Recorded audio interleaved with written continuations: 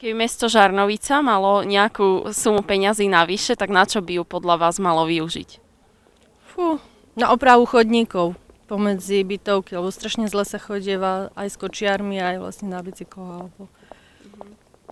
A kde napríklad? Na ktorých miestach? Oproti kotolni pri rúžovej bytovke, alebo tu popri, tam ako bolo Tolimo, tak tam.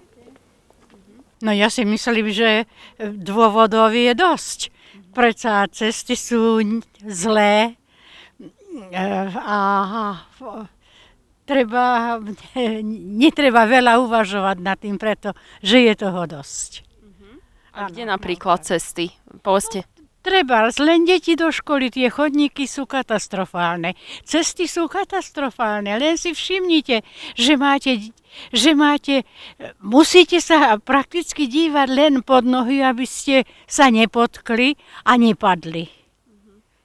A to sú len cesty a už to iné ani, ani, no.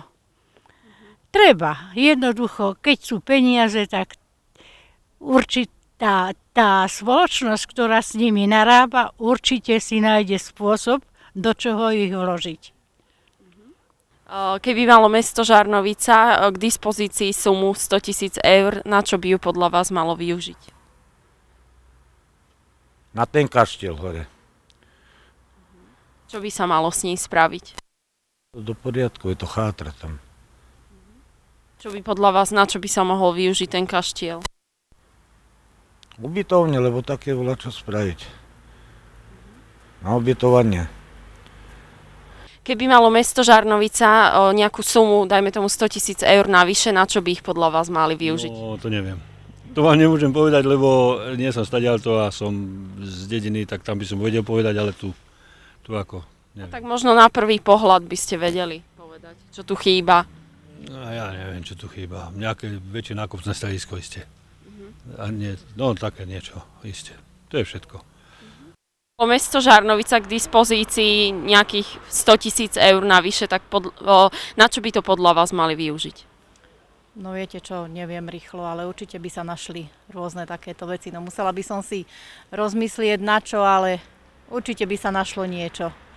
Viac by som povedala, že aj tá čistota by sa mala dodržiavať nie len v strede mesta, ale aj v tých okrajových častiach. Ja bývam na okraji a tam ozaj tá burina koľkokrát je hrozná aj takto popri týchto chodníkoch a si myslím, že to je škoda, lebo to len poškodzuje.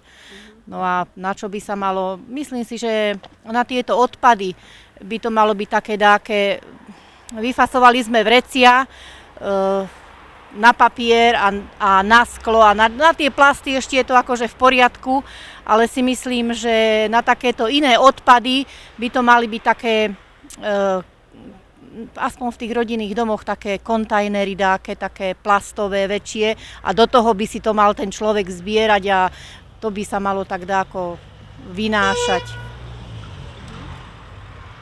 Čo ja viem, ja ako som už povedala, pracujem v zahraničí, tak viem to akože porovnať a je to tak, viac dbajú o ten poriadok ako my. Tak nie, nejako tak by som to asi riešila, no. Keby malo podľa vás mesto Žarnovica nejakú sumu peňazí navyše, tak na čo by ich mali využiť? No, tak to teda vám neviem povedať. Tak viac na, to, na ten šport, no a takéto podliatie, ako tu býva v Žarnovici. Čiže nejaký koncert? Koncert je aj, áno, áno. Keby malo mesto Žarnovica nejakých, o, dajme tomu, 100 tisíc eur k dispozícii, tak na čo by ich podľa vás mali použiť? Viete čo, môj názor, je to, hádam, cestu k cintorínu, napríklad. Neviem, ako sa dá, čo ja, ako sa to dá vyriešiť. To je tak trošku, to je taký momentálny nápad a nejaké chodníky a tak. Ale zdá sa mi, že je to dobre. Nakoniec eh, pán primátor nám dovolil, alebo tak rozhodnutím niečo, urobiť pred našim domom, bytovým domom, parkovisko. To je niečo fantastické.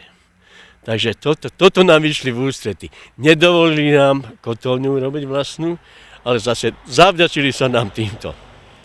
Setu hovoria francúzi, to je všetko.